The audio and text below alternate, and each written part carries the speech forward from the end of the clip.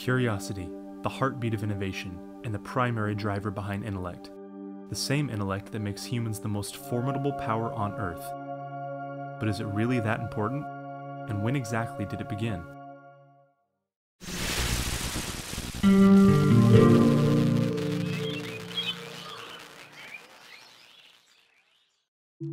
In this modern age, food can appear at our doorsteps, we can fly across the world on a whim, and our buildings aren't huts, but they scrape the skies. We've taken a lot of risk to get here, risk brought about by burning questions, some that took centuries to answer, and all stemming from one thing curiosity. It comes so naturally to us that it's hard to imagine a time when it did not exist in life. But things weren't always this way. So, when did curiosity begin? To answer that question, we first need to understand what curiosity is.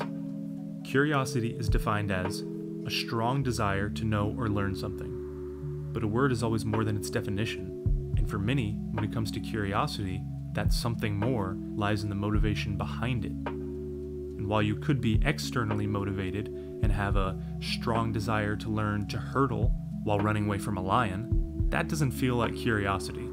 Perhaps for curiosity, the motivation comes internally. But to be internally motivated, you need consciousness. So, although no one knows when exactly consciousness began, it's likely that it began as a result of an evolutionary advantage. At one point, life was wandering aimlessly, collecting whatever food they stumbled upon to continue living. But sometime, billions of years ago on an early Earth, there was a brilliant spark. Life had a thought, and maybe it was a fleeting, happy accident, but it catapulted that life to the top of the pyramid. Why wander aimlessly when you can find a direct path to exactly what you need? Well, it's clear that this was the secret formula to progress. And for billions of years, that was enough for millions of species to survive and thrive. Then, along came the archaic humans. There's no denying that humanity is different, and for a good early indication of this, look no further than cave art. What exactly they were thinking as they painted may never be known, but what we do know is that it was made with intent, and not for survival, but as a byproduct of curiosity.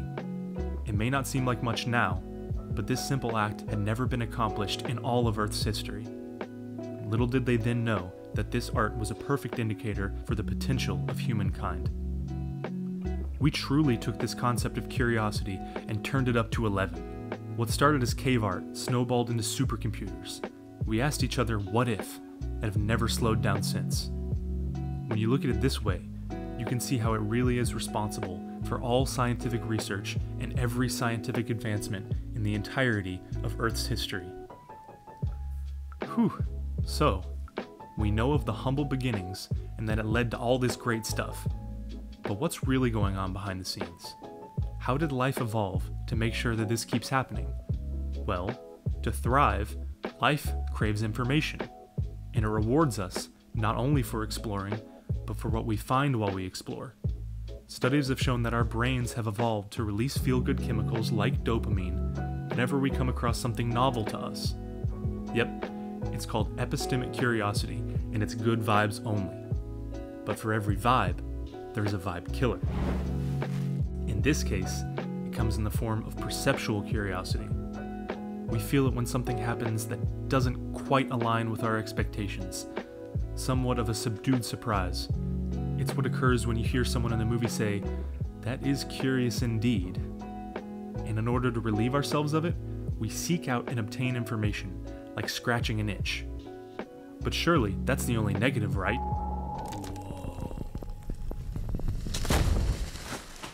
Well, we're dead.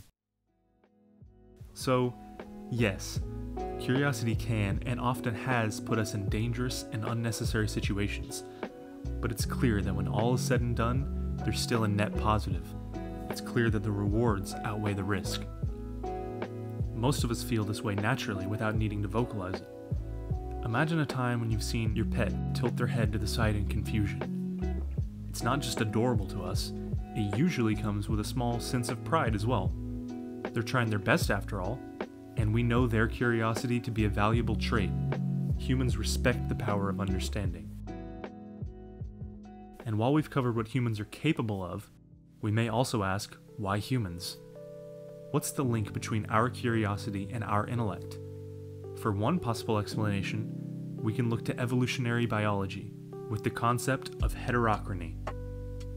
Heterochrony is a genetically controlled difference in how organisms develop compared to other similar organisms. It can lead to changes in shape or changes in characteristics. You see it physically in animals like giraffes with their abnormally long necks, but it has more nuance when you apply it to organs such as the brain.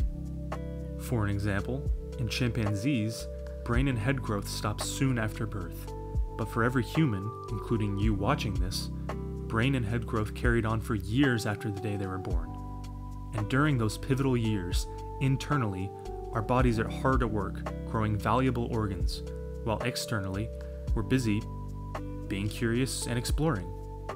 You can see it in babies when they first open their eyes, soaking in amazing amounts of new information. Then, a little later on, it can be heard in the form of babbling, which can be seen as babies trying to make sense of their own reality, all the while assisting in their own intellectual development. All of this is made even stronger by the security humans are able to provide to their young. It's a great example of what sets humans apart from other animals, as it's been shown that infants who view their caregiver as a truly secure base feel safe to explore their environment and learn at astounding rates. In fact, it's believed to be why humans grow so slowly in comparison to other like animals. As infants, our bodies don't devote much energy into physical growth, and instead puts that energy into growth of the brain. As adults, most of us no longer babble, but the same concept of curious exploration manifests itself into fantastic accomplishments like writing books or setting a world record. It can also manifest as perhaps odd behavior for an animal, such as choosing not to talk for a week or hiking to a place that we never intend to return to. But we're unique in that way, and it's a great example of why we should embrace our quirks and differences. It matters more than we may realize. But you know what else matters? Not losing sight of what got us here in the first place. In other words, what if we lost our curiosity today? Well, in a sense, it may be happening already. How often do you hear people say that they no longer feel the magic of childhood?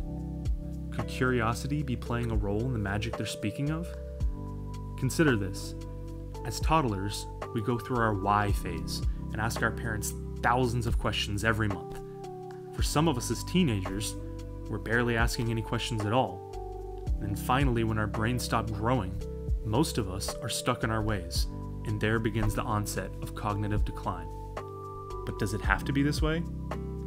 Let's not forget that curiosity may be, in fact, internally motivated.